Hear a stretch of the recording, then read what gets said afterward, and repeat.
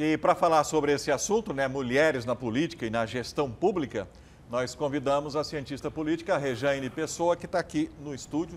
Boa noite, obrigado por ter vindo. Boa noite, Carlos. Boa noite. A gente estava, eu estava vendo alguns números né, da participação feminina na política no Brasil e é muito desconcertante porque mesmo em comparação com países da América Latina, países muito mais atrasados, mais pobres, o Brasil tem menos participação do que todos os outros, exceto o Haiti e o Paraguai. Por que nós somos assim, será? o Brasil é incrível, né? Que o Brasil é esse país, vários Brasis, né? Que a gente costuma dizer. É, infelizmente, o Brasil traz uma cultura arraigada na sua constituição política de que a, a mulher foi feita para o privado e não para o público. Infelizmente tem isso no Brasil. Então é uma questão meio que cultural. Né?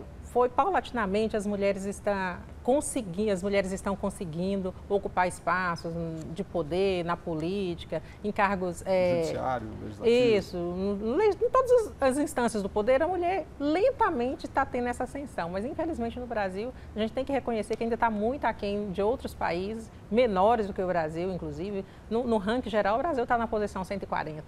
Ainda 140? Nesse, isso. Ainda nesse sentido que o Magno falou, viu estatística que a, o Brasil tem menos representantes no parlamento do que a Arábia Saudita. A Arábia Saudita é um país que as mulheres tiveram autorização para dirigir há pouquíssimo tempo. É um país reconhecidamente que os direitos femininos estão muito atrasados em relação ao mundo inteiro. Mas mesmo assim, eles têm mais mulheres tem. na política do que o Brasil. Tem, tem. As mulheres, as mulheres de burca, tem mulheres de burcas no parlamento muito mais do que no Brasil.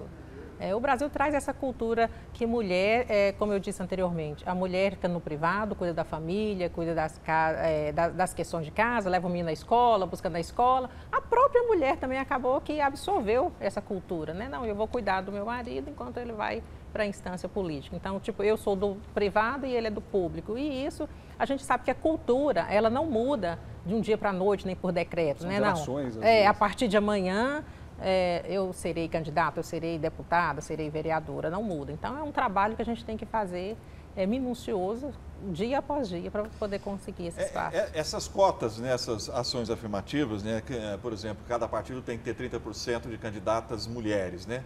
Ah, que aliás é uma, uma, regra burlada, burlada toda hora. Né? Candidaturas fictícias, é, né? É, candidaturas Só para cumprir cotas. É, para cumprir a cota.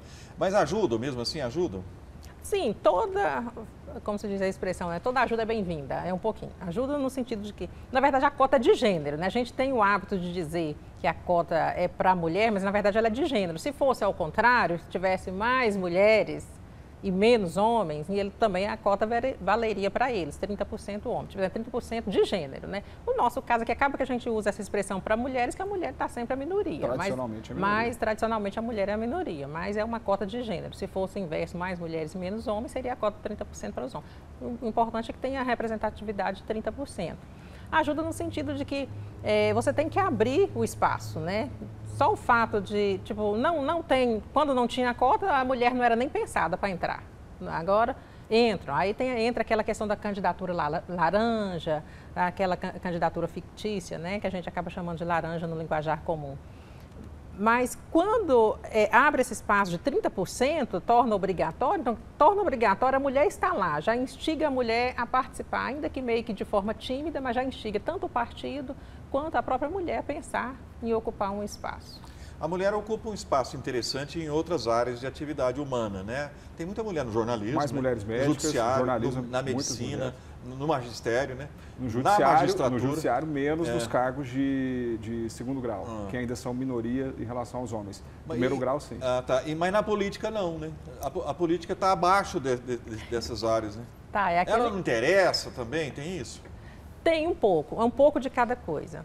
É, tem a desmotivação política que às vezes a mulher ela, ela, sofre na questão hoje tem muita violência de gênero né, na política então, às vezes, acaba que é um pouco desmotivador, que aí a mulher, ela quer ir, já é difícil de ir naturalmente num caminho é, é, comum. Aí, de repente, você chega lá, tem tantos empecilhos, porque aí acaba que coloca, ah, não, está aqui para cumprir os 30% só, mas nós não vamos te dar espaço. Não dá né? dinheiro. Não tem, não tem a, a, estrutura financeira, não. Aí você divide lá o fundo partidário, a mulher não vai receber nada. Então, tipo assim, então é desmotivador.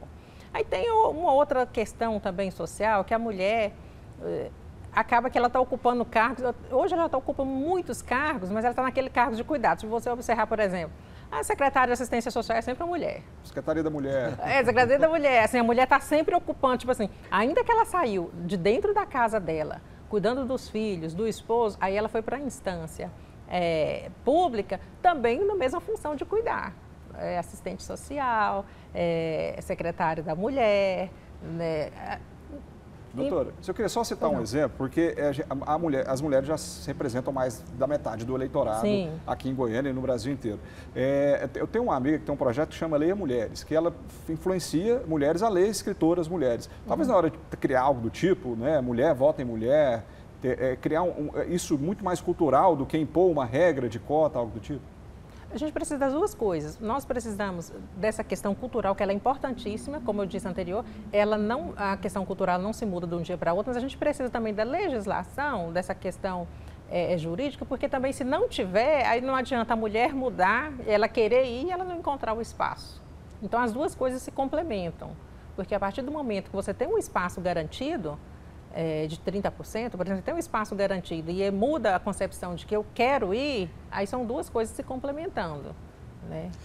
Muito bem, muito, muito obrigado pela sua participação aqui. É, eu gostaria que tivesse mais mulheres mesmo. Eu até cito que se tivesse uma mulher na Rússia e outra na Ucrânia, não tinha guerra. Obrigado pela participação.